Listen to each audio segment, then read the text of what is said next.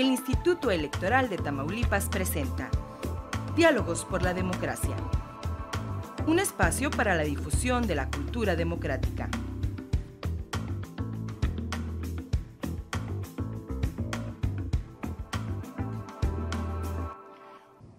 Hola, ¿qué tal? Muy, muy buenos días. Soy su amigo y servidor Nereo Zamorano, titular de Diálogos por la Democracia. Este programa que semana a semana le ofrece el Instituto Electoral de Tamaulipas. A propósito, le hago llegar un afectuoso saludo de parte de todos los que trabajamos en el Vietam. Desde luego le, le invito para que tenga usted tiempo de calidad. Ahora sí, tiempo de mucha calidad con su familia no salga de casa. No son tiempos para salir de casa. Quédese allí en, en casa disfrutando la compañía de sus seres queridos. Como lo estamos haciendo ahora, estamos transmitiendo precisamente desde su casa, la casa de Nereo Zamorano, y estamos transmitiendo para todo el personal del Instituto Electoral de Tamaulipas con el apoyo y la asesoría técnica de la Unidad Técnica de Sistemas del Instituto Electoral de Tamaulipas. Es un gusto adquirir experiencias nuevas a propósito precisamente de la crisis eh, de salud pública que estamos viviendo no solamente en Tamaulipas, no solamente en México, sino en el mundo entero. Le agradezco mucho que nos permita acompañarle. A propósito de lo que le estoy comentando ahora, y de que estamos transmitiendo desde su casa, estamos también haciendo enlace, como ya le decía, con el apoyo de la unidad técnica de sistemas. Y en ese sentido es como eh, quisiera agradecer y darle la bienvenida al licenciado Santos González Picasso, titular de la unidad técnica de sistemas de la, del Instituto Electoral de Tamaulipas, con quien estamos enlazados gracias a su apoyo. Muy buenos días, eh, licenciado Santos, ¿cómo está? Bien, buenos días, maestro Nereo. Un gusto en saludarlo a usted y pues a la audiencia que tiene su programa. Muchas gracias por aceptar la invitación y muchas gracias por permitirnos eh, pues el ejemplo palpable de esto que ahora estamos haciendo en el Instituto Electoral de Tamaulipas. Y bueno, yo me supongo, Santos, tienen mucho trabajo en la unidad técnica de sistemas. Así es, maestro, pues sobre todo en estos días que se ha decidido hacer home office, pues se tienen que llevar a cabo diversas configuraciones para que las personas puedan llevarlo a cabo, su trabajo desde casa y sí, obviamente nos implica una gran cantidad de actividades a llevar a cabo. ¿Está en la oficina, licenciado? No, maestro, estoy aquí en su casa, en mi casa, la que es su casa, eh, desde aquí en videoconferencia con usted. Muchas gracias. Gracias por el apoyo, gracias por la oportunidad y gracias por aceptar la invitación al programa. vamos, vamos un poco viendo qué es lo que ha sucedido. Yo quiero pensar que el pasado 19, si estoy equivocado, ubíqueme por favor quiero pensar que el pasado 19 de mm, marzo, eh, el consejero presidente emitió un acuerdo administrativo a propósito del cual se hacían observaciones y recomendaciones para cuidar de la salud de todos los que trabajamos en el Instituto Electoral de Tamaulipas y que posteriormente, prácticamente a los 10 días, eh, si no me equivoco, o a principios del mes de marzo, eh, empezamos eh, o recibimos el acuerdo número 7 en sesión ordinaria por parte del Consejo General del Instituto Electoral de Tamaulipas como máximo órgano de dirección y que a propósito de ello, bueno, pues empezamos a desarrollar este tipo de trabajo desde casa. ¿Así es? Sí, así es, maestro. Eh, se dio el acuerdo administrativo y conforme al acuerdo, algunas personas fueron las que primero, aquellas que estuvieran en mayor riesgo, eh, se envió a su casa, ¿no? No todo el personal. Posteriormente salió un acuerdo donde ya la mayoría del personal salvo aquel sumamente indispensable que tuviera que hacer labores de vigilancia y otro tipo, este, empezó a hacer home office. A raíz de estos acuerdos que se han venido emitiendo por parte del Consejo General, del consejero presidente, es que se dieron labores en la unidad técnica de sistemas para verificar que todas esas personas que requerían hacer ahora su trabajo desde casa, hacer home office como se le denomina, tuvieran disponible su información, que eso mismo que hacen en su oficina lo pudieran llevar a cabo desde casa. Y para ello, eh, pues hemos echado mano de tecnologías que no voy a decir, no son tecnologías precisamente que surgieron en este momento, son tecnologías con las que ya venía trabajando el instituto y que dada estas condiciones, dada esta contingencia sanitaria, nos han servido muchísimo para permitir que la gente siga trabajando desde casa, que si bien puede haber alguna afectación porque no es el ritmo de trabajo normal, sea la menor posible y que puedan continuar con las labores este, críticas de, cada una de las áreas. Sí, como lo que hacemos ahora mismo, ¿no? Mediante esta eh, videoconferencia para la producción de Diálogos por la Democracia. Precisamente, maestro, este es un gran ejemplo de ello. El programa de Diálogos por la Democracia generalmente pues se graba en una cabina y a muestra de ello, pues haciendo usted y yo home office, estamos grabando este programa Diálogos por la Democracia vía videoconferencia, como se ha venido usando para coordinar labores en el instituto. Fíjate cómo mm, mm, me doy cuenta ahora que a veces las eh, crisis eh, sociales, como la que ahora estamos viviendo, no solamente traen cosas negativas, también traen cosas positivas porque aprende uno, porque adquiere uno nuevas habilidades para eh, sobrevivir, para desarrollarse y para seguir creciendo, ¿no crees? Sí, maestro, este, si bien es esta crisis sanitaria que estamos viviendo esperemos que pase pronto, bueno, hay que encontrar eh, alguna cosa buena que obtener, como usted dice. Y esta es una de ellas, aprender y estudiar un poco de las tecnologías, especializarse, porque en verdad había eh, ocasiones en que a lo mejor no, no tenía gran interés de utilizarse y ahorita dada la necesidad, siempre lo he dicho, la necesidad es la mejor forma de aprender y aquí estamos todos aprendiendo de estas tecnologías. Sí, así es, Santos. Y bueno, como nos decías hace un momento, inicialmente pues nos mandaron a los viejitos primero por delante para la casa, sobre todo aquellos que fuéramos hipertensos, tuviéramos más de 60 años y tuviéramos complicaciones eh, respiratorias.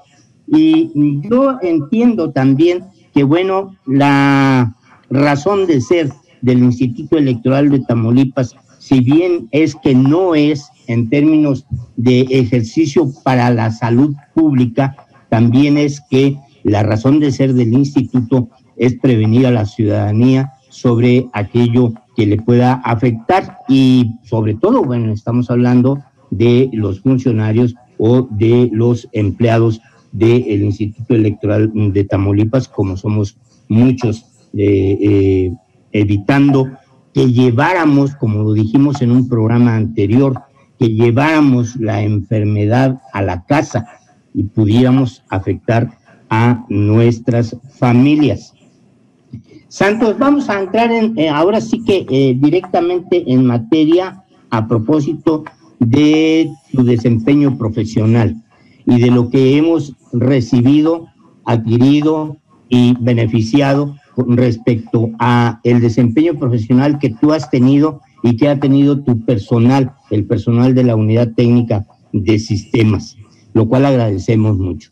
Eh, yo quisiera que empezáramos comentando cuándo, cuánto hace que se crea la unidad técnica de sistemas en el YETAM y cómo ha venido desarrollándose o cómo ha venido eh, fortaleciéndose con nuevas tecnologías, no solamente la unidad técnica de sistemas, sino el Instituto Electoral de Tamaulipas, porque yo recuerdo que pues antes de la, de la creación de la unidad técnica de sistemas, las tecnologías o las nuevas tecnologías se utilizaban muy poco. Prácticamente lo que teníamos era un portal eh, de, Internet y San se acabó. Pero yo he visto cómo a lo largo del tiempo esto se ha venido fortaleciendo. Quisiera que nos platicaras sobre tu experiencia. Sí, maestro. Eh, bueno, ¿cuándo se crea esta unidad? La unidad se crea en el 2012. Eh, yo tengo la fortuna de poder integrarme al Instituto Electoral de Tamaulipas en agosto del 2012 y en septiembre es cuando se le da la denominación ya de unidad técnica de sistemas. Se crea esta unidad con solamente dos personas y el titular. Eh, a partir de ahí empezamos a trabajar y lo primero, primero que hacemos es crear un nuevo portal. Como usted bien menciona, había un portal de internet este, ya bastante desactualizado y es la primera acción que, que decido tomar, actualizar el portal institucional. Eh, a raíz de ahí analizamos a ver qué es, qué procesos existen y cómo podemos automatizarlos, mejorarlos para hacerlos más sencillos y empezamos con el desarrollo de sistemas informáticos. Eh, quiero comentarle, maestro, que no había ni un solo sistema informático. Solamente se usaban hojas de Excel, de Word, PowerPoint para administrar la información. Entonces, el primer sistema que realizamos es el sistema de capacitación electoral. En aquel tiempo, el instituto todavía tenía la atribución de capacitar a los funcionarios de casilla, integrar las mesas directivas de casilla. Entonces es el primer sistema que llevamos a cabo. Y de ahí una serie de sistemas a lo que ahora le denominamos sistema integral de electoral de Tamaulipas, el CIET, que está compuesto por alrededor de 20 sistemas que conforman todo el sistema electoral de Tamaulipas. ¿Cómo podríamos eh, mm, ejemplificar esto? Porque bueno, yo, yo entiendo que tú, eh, para ti es muy, muy claro lo que nos estás diciendo, pero pienso yo, bueno, 20 programas, sistemas, ¿de quién está hablando? ¿Cómo es eso? ¿De qué se trata? Pues son de acuerdo a las atribuciones que viene teniendo cada una de las áreas, maestro. Por ejemplo, podría mencionar el sistema para el registro de los cómputos electorales, un sistema importante, ¿sí? Que se usa el día de la jornada electoral y posteriores días. Eh, sistemas para el registro de información de casillas, si estaban abiertas, a qué hora cerraron, si hubo algún incidente, que son atribuciones que después fue retomando el INE, fue atrayéndolas, ¿sí? Pero todos estos sistemas se han venido desarrollando, sistemas para el registro de las sesiones que llevan a cabo cada uno de los consejos distritales, municipales, ¿sí? Sistemas como por ejemplo para el registro de aquellas personas que quieren integrarse como consejeros electorales de los consejos municipales y distritales y así una serie de, aplicaciones, maestro. Muy bien, eso así ya, eh, eh, vaya, nos cae el 20, un poco más respecto a lo que nos platica. En, términos personales, eh, licenciado, estoy platicando ahora con el licenciado Santos González Picasso, él es titular de la Unidad Técnica de Sistemas del Instituto Electoral de Tamaulipas. Y de veras, Santos, me da mucho gusto tener esta conversación. ¿Qué ha significado para ti todo esto? ¿Cuáles son las experiencias que en lo personal y a título profesional has obtenido a lo largo de estos, ¿qué nos decías? ¿12 años o cuántos? No, en el 2002 van a ser 8 años. 8 años, ok, ok. Eh, Cuéntanos la experiencia profesional propia que has adquirido a propósito de este desempeño en el Instituto Electoral de Tamaulipas. Gracias, maestro, por la pregunta. Mira, empezaré comentándote que la experiencia electoral que tu servidor tenía cuando se integró al Instituto Electoral de Tamaulipas era haber sido en el 2004 coordinador del PREP en un proceso federal. Eh, esa era la experiencia electoral que yo tenía. Eh, experiencia informática, eh, he tenido la fortuna de siempre, de siempre, desde antes de egresar de, mi profesión, trabajar en áreas informáticas, en desarrollo de, especializarme en desarrollo de sistemas informáticos. He tenido la fortuna de siempre dedicarme a lo mío, como digo yo. Muy bien, muy bien. Entonces, debo reconocer que no era tanta mi experiencia electoral, sí experiencia en informática, y ahora, dado estos casi ocho años de estar aportando algo al Instituto Electoral, debo decirte que para mí ha sido muy enriquecedor todo lo que he podido aprender en materia electoral, cómo se forman, si bien escuchas y como ciudadano a lo mejor pues sabes de las elecciones, a veces lo único que sabes es que tal domingo te corresponde ir a votar y no conoces de todo el trabajo enorme que existe detrás y que llevan a cabo las autoridades electorales para que ese día esté instalada una casilla. Entonces, el conocimiento en materia electoral, maestro, a detalle sobre cómo se lleva a cabo un cómputo, por qué debes elegir tal o cual perfil de persona, ¿sí? cómo se eligen la, la ubicación de casillas, eh, ha sido muchísimo, muy enriquecedor para mí y aprendiendo de esta materia electoral me ha permitido especializarme y ofrecer mejores soluciones tecnológicas para ayudar a que la institución pues las lleve a cabo como bien como siempre las ha llevado, pero quizá con mejores tiempos de respuesta, con información más a la mano en tiempo real, que eso agrega un gran valor al, trabajo que se lleva a cabo. De repente sentí como que me ubicaba como consejero nacional haciéndole una entrevista a un aspirante a consejero local. Eh, ¿qué, qué, qué, ¿Cuál ha sido tu experiencia, vamos a decirlo así, más complicada en el ejercicio del uso de sistemas para los asuntos electorales? Eh, muy buena pregunta, maestro. Eh, mi experiencia más complicada y no por ello menos satisfactoria, eh, sin que alguna de las áreas del instituto tenga recelo de ello. Al cabo que no te están viendo, ni te están leyendo. Mencionaré que a la unidad técnica de sistemas le corresponde, por ser un área con perfil tecnológico, ser la instancia interna responsable del PREP.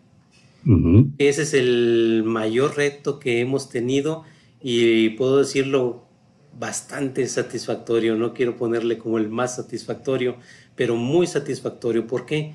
Implica, si bien se contrata una empresa que ayuda a implementar, hay que estar pendiente de muchísimos aspectos a lo largo del estado de coordinación para que esto funcione, para que ese día de la jornada electoral salgamos a decir eh, con el PREP tal o cual candidato tiene tendencia ganadora, ¿sí? por llamarlo así, porque recordemos que los, los resultados del PREP son preliminares, es muy importante y el PREP se ha usado incluso por los candidatos para anunciarse ganadores y para anunciarse perdedores, ¿sí? siendo que no son resultados oficiales. Entonces, para nosotros el PREP maestro es, digamos, nuestra joya y es algo muy satisfactorio ver que se alcanzan porcentajes como en este último, el 100% de captura de las actas, ¿sí? Y pues resultados que reflejan, si bien estos resultados preliminares se convalidan al momento de hacer los cómputos, ¿qué quiere decir? Que el trabajo que hicimos previo o preliminar fue correcto al ser convalidado ya en los cómputos oficiales. Eso es para nosotros de gran satisfacción. Te voy a hacer una pregunta muy difícil, porque, bueno, creo que debes meditar la respuesta, pero, pero no puedo resistir, no puedo, no puedo quedarme con la pregunta. Siente el licenciado Santos González Picasso, titular de la Unidad Técnica de Sistemas del YETAM, que el YETAM podría generar su propio PREP yo creo que no tengo tiempo, tanto tiempo para meditarlo aquí, maestro. Y está sencilla la respuesta. Claro que seríamos capaces de desarrollar nuestro propio PREP.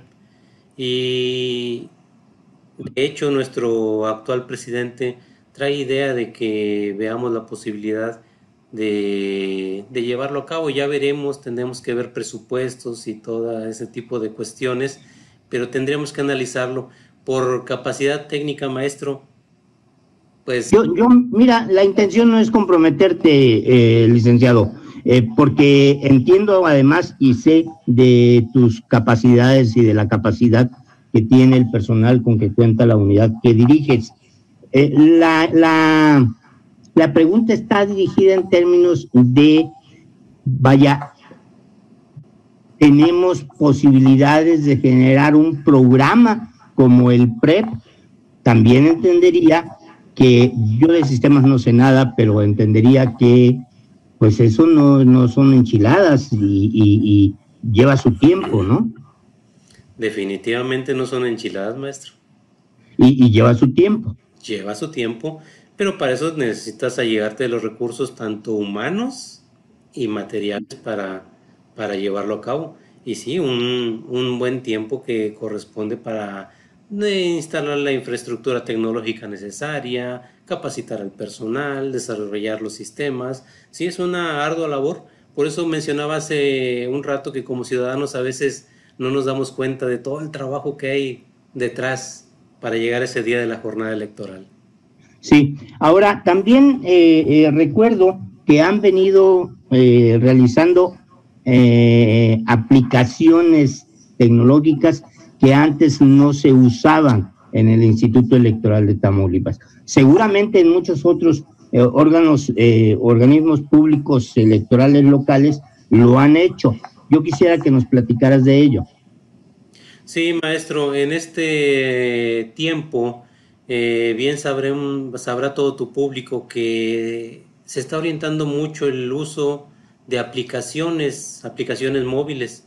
Te puedo comentar que pues, se implementó una aplicación móvil para el registro de información del PREP, se han venido usando aplicaciones móviles también para la recepción. Fue la última que lanzamos en este pasado proceso electoral. Lanzamos una aplicación para el registro de información y la recepción de los paquetes electorales en los consejos distritales. Entonces, esto viene a agilizar y a darnos facilidad en el uso porque cada teléfono móvil se vuelve en una terminal. Entonces, hemos venido tendiendo al uso de apps, aplicaciones móviles, para facilitar las labores que se lleva a cabo. Estamos también pensando usar apps para otras cuestiones como el registro de, de solicitudes de aspirantes a consejeros. Entonces, no decimos que vamos a dejar la parte web porque es una parte que sigue vigente pero sí también estamos tendiendo al uso de aplicaciones móviles para ello. Eso es lo que venimos utilizando y herramientas como herramientas en la nube, maestro, que al compartir información, para usar herramientas ofimáticas, para videoconferencias como esta. Sí, venimos usando las tecnologías que están en el mercado. El tiempo se nos está terminando, licenciado Santos González Picasso, titular de la Unidad Técnica de Sistemas del Instituto Electoral de Tamaulipas.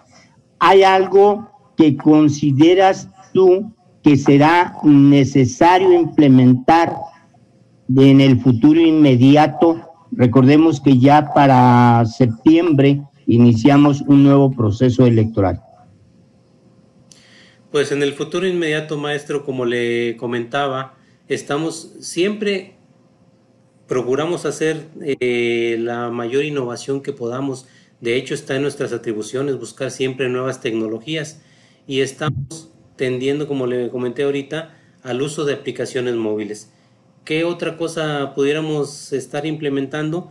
Estamos también para algunos consejos que donde tenemos problemas de conectividad usando tecnología satelital para mantenerlos conectados y puedan compartir con el instituto toda la información que, se necesita. Son cuestiones que estamos este, actualmente implementando. Por lo demás, son aplicaciones y sistemas informáticos que ya venimos desarrollando con el tiempo y que forman parte de todo lo que es este sistema informático electoral de Tamaulipas.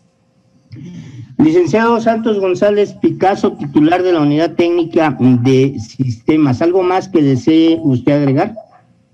Pues como mencionabas, maestro, al inicio de cuando había iniciado esta unidad, lo único que puedo decirte es que para mí ha representado conocimiento, sobre todo en materia electoral, en coordinación de actividades electorales y un orgullo, maestro, de tener un equipo como el que yo tengo, que da excelente servicio, creo yo. Eh, Santos, te agradezco mucho.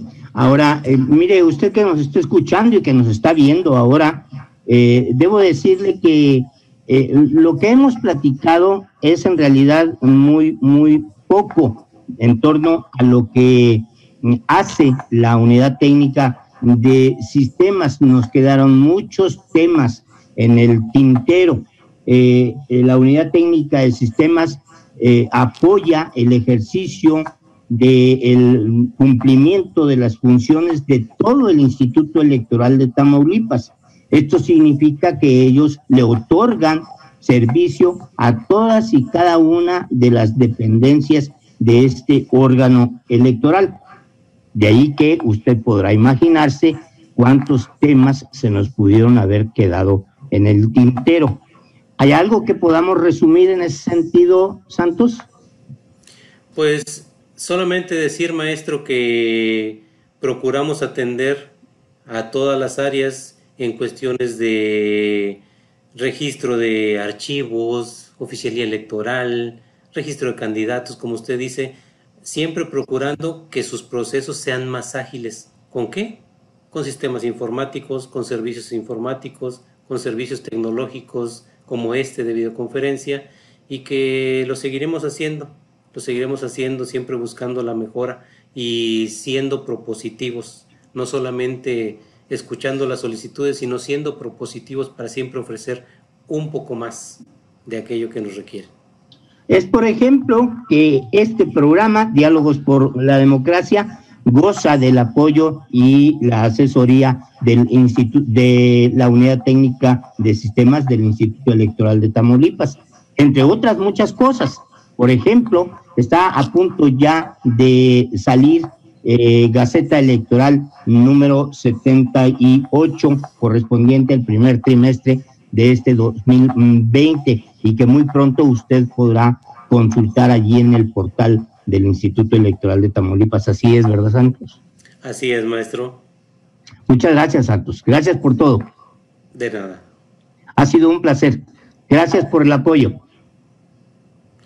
Él es el eh, titular de la Unidad Técnica de Sistemas del Instituto Electoral mm, de Tamaulipas, el licenciado José Santos González Picasso. Yo, yo soy su amigo, Nereo Zamorano, y le agradezco mucho el favor de su atención y le invito para que la próxima semana esté de nueva cuenta con nosotros en otro diálogo por la democracia, que espero podamos seguir utilizando las tecnologías que nos proporciona la Unidad Técnica de Sistemas del Instituto Electoral de Tamaulipas. La recomendación es la misma, quédese en casa, no salga. Santos, muchas gracias. Hasta luego, maestro. Hasta pronto.